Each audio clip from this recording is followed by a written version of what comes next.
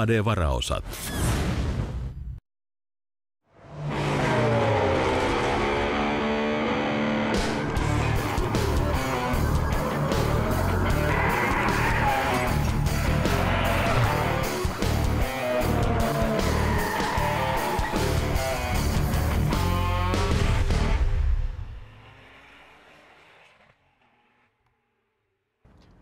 Aurinkoista päivää taas Ahvenistolta.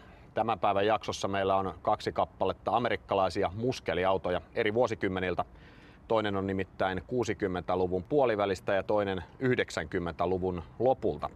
Taas ollaan siinä valmistemaassa, mikä sua viehättää. Saat jenkkimiehiä. Kyllä mä oon joo, kyllä. Ne on hauskoja pelejä. Vähän laitettuna vielä, niin niistä saa ajettaviakin jopa. Otetaanko ensin käsittelyyn tämä tuorempi versio, eli 90-luvun lopun auto? Se sopii. Mennään siis Yttermarkkiin ja tutustutaan tähän Mustangiin. Mä oon Sven Lindberg, syntynyt Närpiössä ja asun nykyään Maksmossa. Ja tota niin, mä oon projektiinsinööri ABBllä, työskentelen Vaasassa. Se on 99 Ford Mustang SVT Cobra, joka on tuotu nyt tähän Suomeen 06 tuotiin Suomeen ja riiteltiin sitten pari vuotta ennen kuin sai se rekisteriin. Ja nyt on päässyt nautiskelemaan sitten pari vuotta siitä autolla. Joo, tämä on 4,6 litrainen V8 erikoiseksi niin kuin Cobran mallissa. Se on täysalumiinium lohko ja kannet 32 ventiilinen. Ja se on niin kuin tehtaalla, se on käsin rakennettu. Siellä on nimmarit, ventiili kopalla, että kuka on sen rakennettu se moottori. Tähän on nyt lisätty sitten Ruotsin valmistanut Lysholmin ahdin ja sen mitä kuuluu siihen suuttimet ja kaikkienlaiset sensorit. Joo, no mä oon aina omistanut Fordeja, että siihen malliin se on mennyt. Että pitkä aika on halunnut ostaa Mustangaa nyt kun talous on tullut vähän parempiin, niin saatiin sitten ostettu sekin. Tässä sisätiloissa on tullut vaihdettu näitä penkkejä. Ne alun perin penkit, ne ei ole kovin hyviä, että sopii enemmän, niin kuin läskeille. Ja sitten täällä, täällä on nyt tullut vähän näitä lisämittareita, missä on paine ja happitunnustin. Niin, mutta muutenkin se on kohtuullinen alkuperäinen. Että niin kuin Cobra-mallissa on näitä valkoisia mittaripohjaina niin kuin valmiina, niin se, mielestäni se ihan siisti kuin se on, että ei sitä tarvitse koska sen enemmän. No kyllä siihen vaan menee enää rahaa. En mä niitä on halunnut laskea, että kuinka paljon siihen menee, mutta kohtuullisen paljon töitä. Että se on riippunut, nyt viime vuonna en tekisin niin paljon, mutta sitten kun laitoin sitä ahdin paikan päälle, että siellä on kyllä erittäin paljon työtunteja sen takana.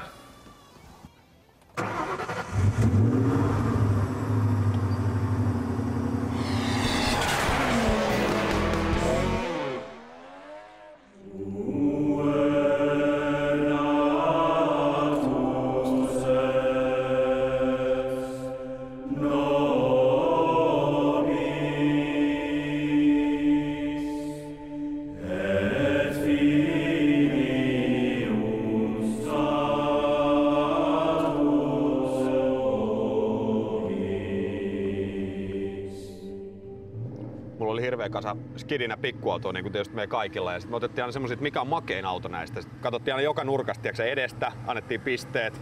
No vähän niin kuin täällä. Vähän niin kuin nyt. Niin, sama juttu. Niin Samalla tasolla ollaan. samalla tasolla ollaan. Autot on vaan suurentunut, niin Mustang voitti Joo, tosi peli. usein, ellei sitten Rolls Royce. Tosi Se hieno. oli mun kaverin mielestä paljon makeampi. Terve. Terve. Tää on hieno. Onko ihan Moi. aito Cobra? On. Hieno. Wow. Niin sä tunnet nää. Joo, mä oon Cobra-fani. Okei. Okay. No niin, hyvä. Hieno, hieno peli. Oh. Mitäs tota, onks, mitä sä oot tehnyt sille muuta? Se on tota niin, jarruille tota niin, paremmat tällaiset komposiittipalat. Sitten jousitus on tällaiset koiloverit jo, joka nurkassa. Helot on vaihdettu ja, äh, niin kuin muoviksi. Joo. Perä on käynyt vähän läpi, että siellä on niin kuin tuku, tukivarsio tuollaista. Konepellin alle on laitonut ahdin Okei. paikalle ensin. Minkä verran potkua pitäisi olla? Suunnilleen 500 sen Se on hyvä. verran. Hyvä tällä. On sitä siinä. Okei, eli onko tässä mitään, mitä mun pitää ottaa huomioon? Lämmöt on tuolla ihan normaali. Lämpö on siellä jo jos on kolme neljäsosaa lämpöä, niin se ei ole ko- koskaan ollut niin korkea, sitten jotain vikaa. Okei. Okay.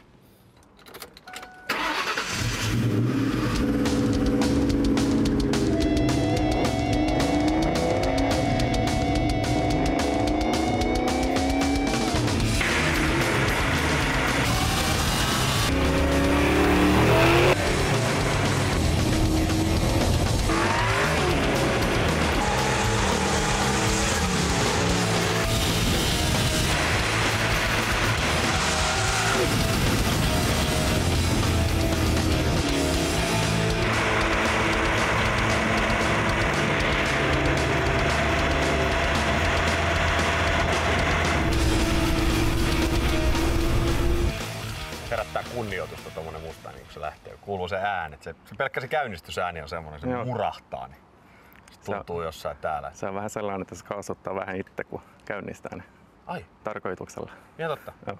Mikä, si, mikä se tarkoitus on siis? En mä tiedä, herää huomioon tai jotain. Niin, niin, nimenomaan, että se ei ole mikään tekninen asia Ei.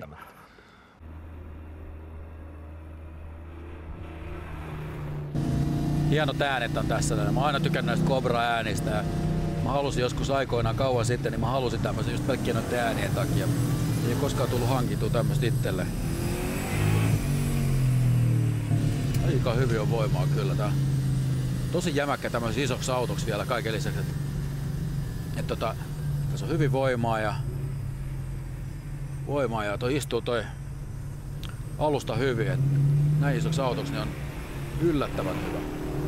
Ja se hienoa sen moottorissa on kaikista tämmönen järjetön vääntö, ihan niinku tosi pieneltä rundeilta se lähtee ja vastaa kaasuja. Se vetää koko alueen tonne ihan loppuun asti. Ja mä veikkaan, että tällä tulee aika hyvä aika. Tää toimii niin hienosti, että tässä on hyvä pito, järjetön voima, ei tarvitse käyttää ylimääräisesti tuonne vaihteet olle, niinku, että tarvii vaihtaa joka pikku suoralta. Se on niin hirveä vääntö, että pystyy ajaa hirveän matalilla kierroksilla mutka läpi ja painaa kaasua, se lähtee ulos.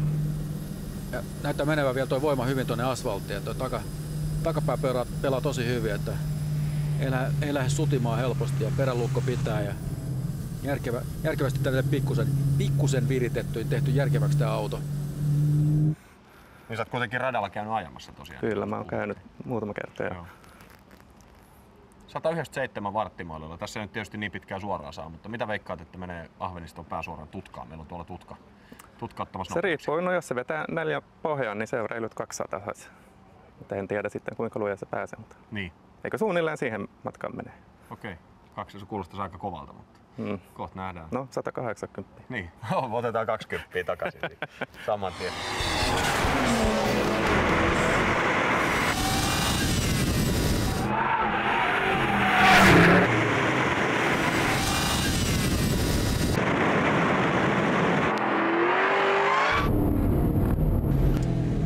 Mieletön moottori. Melkein kuin automaatin on niin hyvä pito tai hyvä, hyvä vääntö.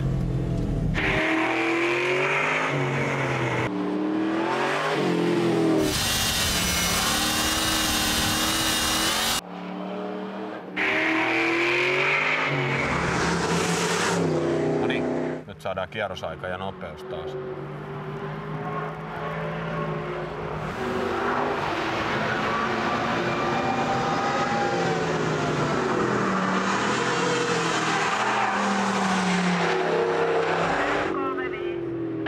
Yksi 35 kierrosaika, se on ihan, ihan ok, sanotaan näin. Nopeus 179. 179. Veikkasit 180, niin lähelle meni. Nyt pitää jäädyttää nuo jarrut sitten vielä kertaalleen tossa. Hienosti menee. Niinku todella yllättävää. Mieletön pito, pikkusen aliohjaa, nopeissa mutkissa. Tota, mieletön pito. Ah. Hienosti menee. Hyvä alusta, tää on tosi jämäkkä. Jämäkkä toi alusta tässä ja penkillä voisi olla, penkissä voisi olla vähän enemmän tukea, tää on niin hyvä nopea noissa mutkissa, että mennä puto penkiltä, tosi fiksusti, tosi fiksusti tehty auto. Ja täysin niinku normaali kuitenkin, täällä voi ajella ihan käydä kaupassa ja No niin. On se hieno kyllä.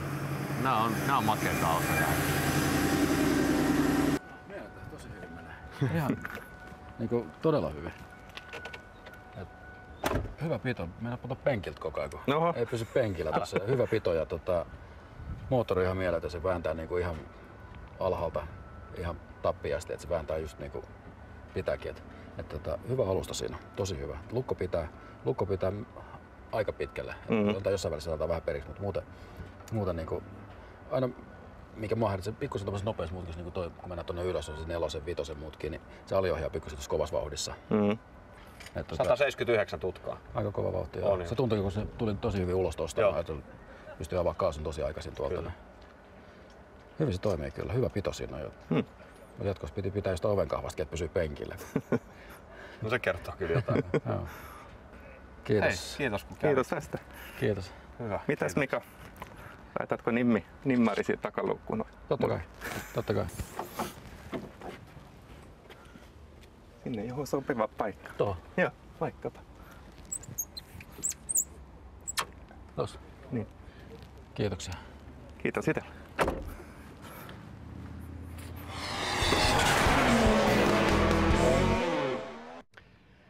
No niin, äskeinen Jenkki oli siis 90-luvun lopulta ja nyt hypätään sitten reilu 30 vuotta taaksepäin 60-luvun puoliväliin. Stingray Vette olisi tarjolla. Makea peli varmaan. Varmaan hieno. Mä oon Corvette-fani ollut aina ja tota, katsotaan mitä auto on tehty. Näin, katsotaan ensin tuossa ihan kulman takana Ahveniston varikolla vähän tarkemmin tätä laitetta.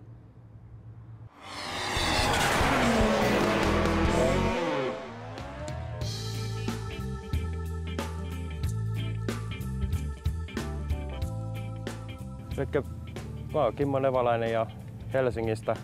Ja tota, autona on tommonen Servalet Corvette, vuosimalli on 65.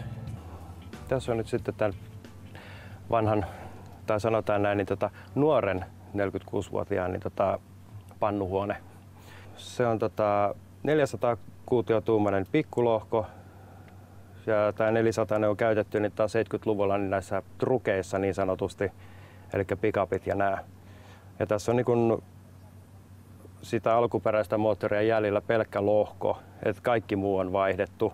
Tämä on tuotu Suomeen niin 90 vuonna ja tota, se on ollut pari-kolme vuotta liikenteessä, jonka jälkeen se on muutamien sattumien kautta niin tota, joutunut latoon, jossa se oli yli kahdeksan vuotta. Ja mä kävin näin ilmoituksen ja kävin vuonna 2004 itse asiassa niin tota, autoa katsomassa silloin keväällä. Otettiin heinäpaali alta ihan ladosta, että se on ihan oikea latolöytö toi. Ajoin vajaan viikon sillä sen jälkeen ja sitten auto sen ja muttereiksi täysi. Autossa on niin kun pidetty lähestulkoon alkuperäisenä sisusta lukuun ottamatta tietysti uuden tyyppistä kerroslukumittaria vaihtovalolla. Ja mittaristossa muutenkaan ei ole päällisin puolin huomattavaa eroa, koska mittareihin on koneisto vaihdettu taakse digitaaliseksi, joka ei, ei näy muuta kuin analogisena näyttönä tässä. Muuten tämä auton sisustalta on ollut sillä, että tämä oli alun perin sininen. Ja mä oon itse nämä kaikki kojelaudat, kaikki niitä mittaritaustat ja kaikki nämä osat täältä niitä on maalattu jälkeenpäin. Ei helpolla lähde myyntiin. Et sen takia se on, se on ihan tosiaan itselle tehty. Ja mä oon vaan aina sanonut kaikille, jotka niitä tota haluaa, jos haluaa tämmöisen, niin tota, että selvä tehdään sopimus ja mä rakennan auton sitten. Mutta niitä omaa autoa en myy.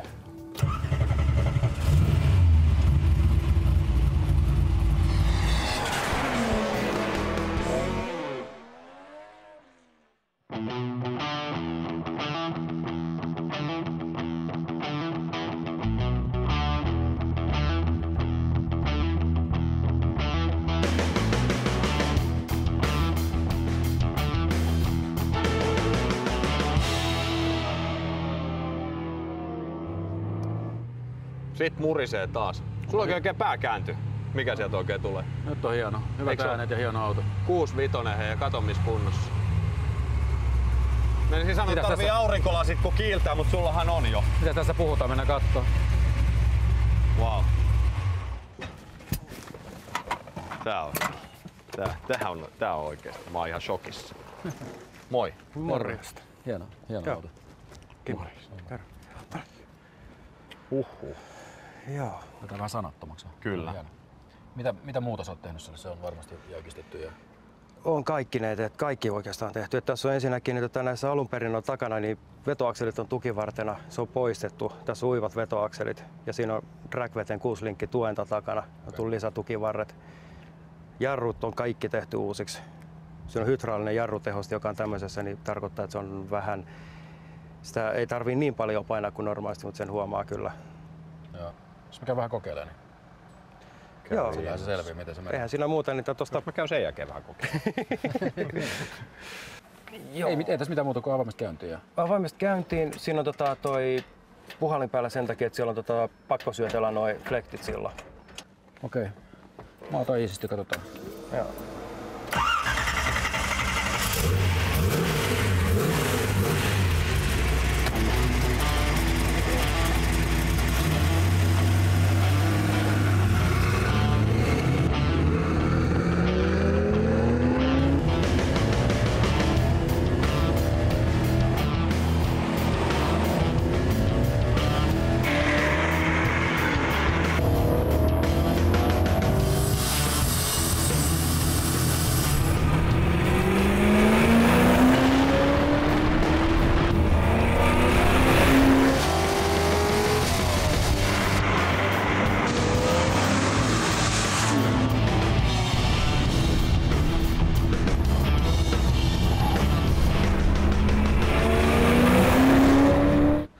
Että sun paitaa ringi 07, eikö tossa on? Nyt Joo. Old Timer Grand Prix. Onko sä käynyt ajamassa ringi? Mä oon ajanut Nürburgringin vanhan radan, niin ehkä noin 12 kierrosta siellä. Le Mansissa on ajanut kaksi kierrosta, 2007 ja 2010 yhden kierroksen. Ja Onko sä tällä autolla siis ajanut? Kyllä. Okei. Okay. Hockenheimissa on ajanut yhden kierroksen, tämmöisen paratikierroksen vaan. Ja Joo.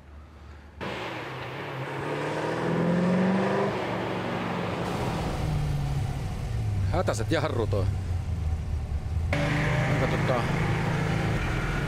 herkäoloinen auto, joten ohjaus on tämmönen oikein 60-luvun tehosti, että voi yhdellä, kahdella sormella ajella tälleen näin.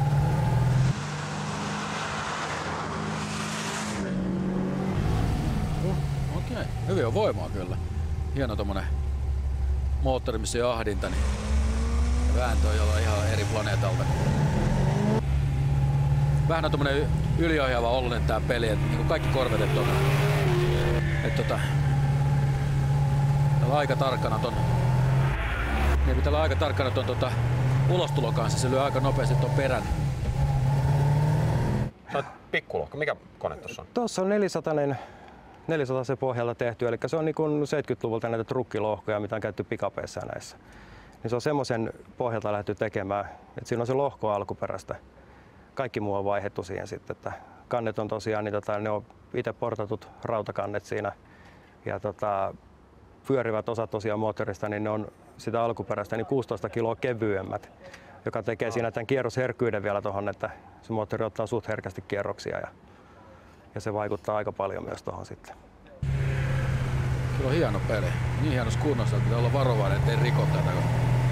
Ei eikä ihan välttämättä ole tehty tähän radalle, mutta tota, kyllä se pitää aika kokeilla kuitenkin.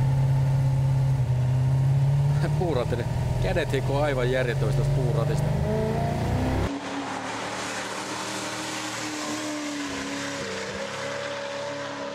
Sä itse tehnyt nämä muutokset? Mä oon tehnyt kaikki muut paitsi maalauksen tuohon autoon. Okay. Et mulla ei maalauskokemusta ole semmoista, että mä rupesin vielä maalaa autoa, mutta kaikki muut on tehnyt itse. Että. Joo, mutta se onkin sitten ihan oma ammattikunta, se joka niitä tekee. Et ei nyt kannata lähteäkään Ja- ja mä- luiskulpelleille, jos se ei ihan aika. Anna mulle Joo. pensseli, niin mä pilaan tuon hetkessä. Mä tota, kyllä sitä mieltä, että mä oon ihan tyytyväinen tuon maalipintaan. Tosi makea. Se- Se oli itse asiassa kans, kun se tuli tohon noin, niin mä kiinnitin välittömästi huomiota. Toi väri, se on spesiaali.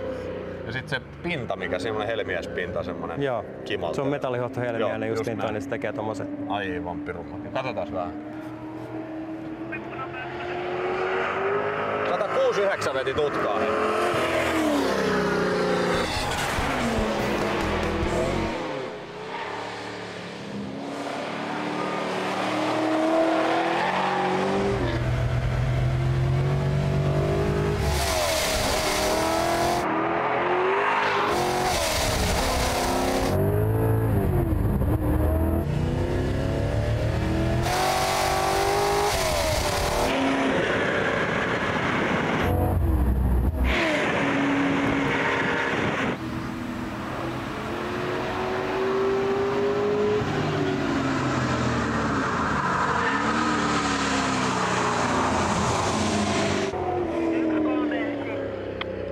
1.39 jo kierrosaja.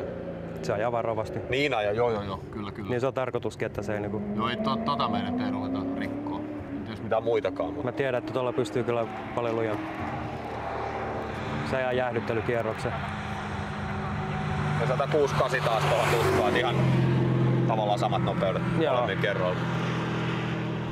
Hienosti tää kyllä menee, että ei ole mitään niinku, isompaa hämminkiä. Tämä ohjaus on, se on niin pirun kevyt, että se ei mitään tuntua, kun tulet jarrutukseenkin, niin se vähän johtuu korjailemaan pelkkää jarrutusta niin paljon, kun ei tunne, mistä asennuspyörät on. Ja, ja tota, pito on ihan mieletön, hyvä pito ja vääntö moottorissa. Ja tämän, tämän ikäiseksi autoksi niin meneepä hienosti.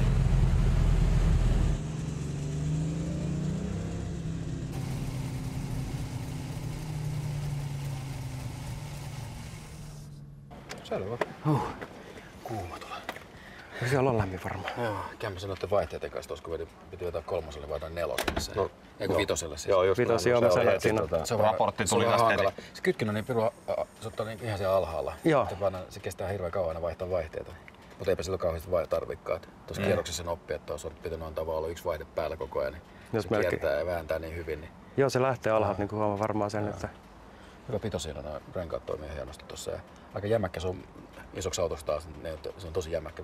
Toi ratti on niin pirun kevyt. Joo. Siinä ei mitään tuntua, esimerkiksi tulee jarrutukseenkin tohon, niin se lähtee hakemaan hirveästi, kun ei tunne ei tunne sitä ei, ei ollenkaan. tunne ratti ollenkaan, niin se lähtee hakemaan jarrutuksessa, se perä menee joka suuntaan, kun ei ole. Kahden sormen pystyy saa koko kierroksen vaikka täysillä. Se niin kevyt tuo ratti. Okei. Se ei oikein tuntuu, se voisi olla vähän jäykempi. Amerikkalainen. Eli vaatisiko se- enemmän, enemmän Tai sitten pieni halkasijalta ja tuossa toisen niin periaatteessa ratakäyttöön tai jäykentää sitä pystyy helposti tuossa, kun se on hydraulinen toi, niin painetta pienemmäksi. Niin. Säätää se. Se olisi ehkä vähän tarkemmin silloin, se pystyy paljon tarkemmin Joo. jarrutuksia kääntäisi mutkaa sisään. sisään. Hei, Hieno, hieno, kiitoksia. hieno peli. Tosiaan. Pääset. Ihan Joo. tosi makea Joo, oli, kävit täällä. Kiitos. Joo, tosiaan. Joo, mä elän täällä. Kiitos. Joo, hyvä Toimii hienosti ja hienon näköinen. Okei. Kiitos. Näin siinä. Moi. Jep, moi.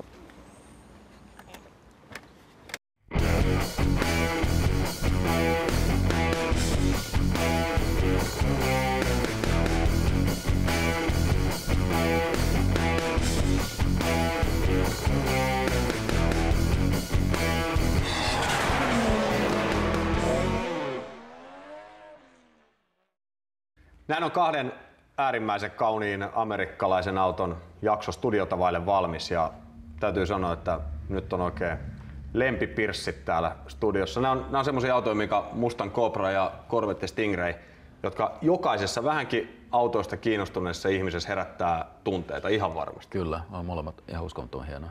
Ja hieno oli varmaan molemmilla ja Oli, kyllä. Hienoja pelejä kummatkin ja kauniit ulkopäin. Joo, se eritoten siis. Sehän amerikkalainen autonvalmistaja on aina osannut, että ne pitää myöskin näyttää hyvältä. Ja mikä tietysti se visuaalisuuden lisäksi tulee tämä soundi juttu. Kun menit siitä ohi, niin se on, se on mieletön se soundi. Ne on sisällä myös ihan uskomattomat. Se Niin varmaan. antaa pienet kiksit jo.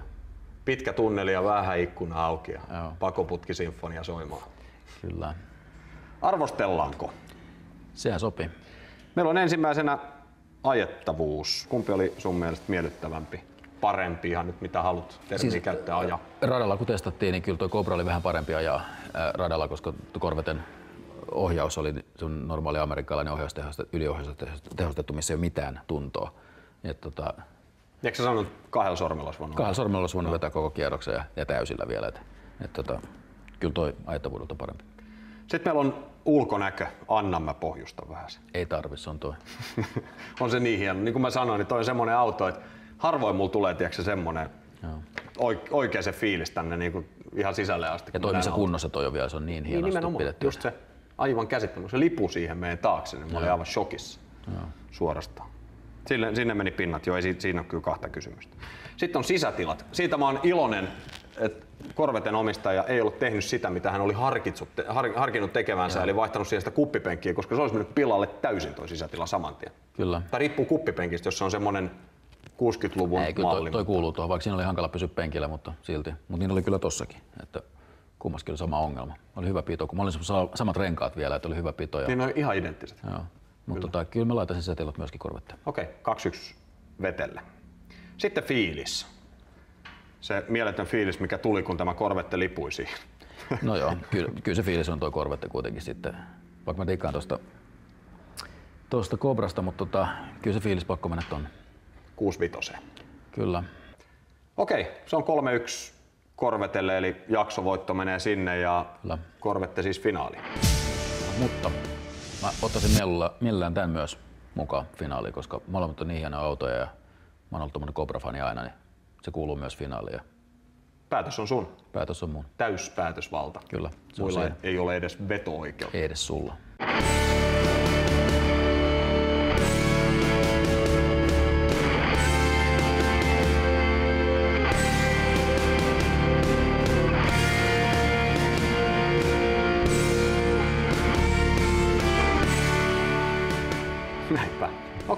Molemmat virittäjät pääsee siis kilpailemaan finaaliin virittäjä 2012 tittelistä ja pääpalkinnosta, joka on siis Aimo Kasa Sonax autonhoitotuotteita sekä ADn asentama Defa auton lämmityssarja.